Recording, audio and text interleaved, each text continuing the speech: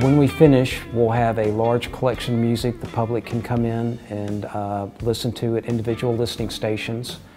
We'll also have a sound room uh, equipped with some really high-end audio gear. We'll be offering a more curated listening experience there where you can come in and hear things. Uh, we'll have stations for music editing with uh, software like Pro Tools and Logic the public can use. We've got a podcasting station set up with good microphones and equipment that uh, you can come in and record your podcast.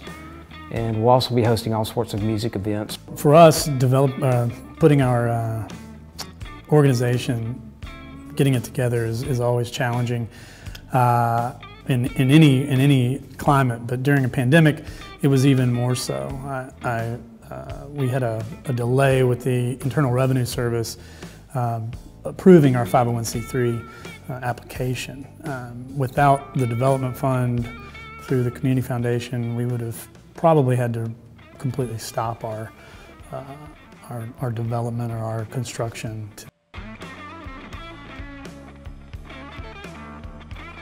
Just being able to um, have, have a group that we can lean on, especially considering the challenges that we're, we're facing during the, during the pandemic, uh, especially, it was a, a super important uh, group of people ready to, to lend us a hand and, and get us uh, resources that we needed in a pretty challenging time.